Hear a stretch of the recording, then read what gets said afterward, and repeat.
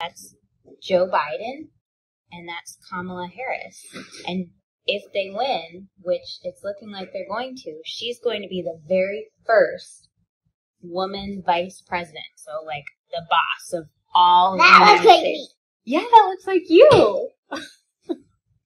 Can you believe that?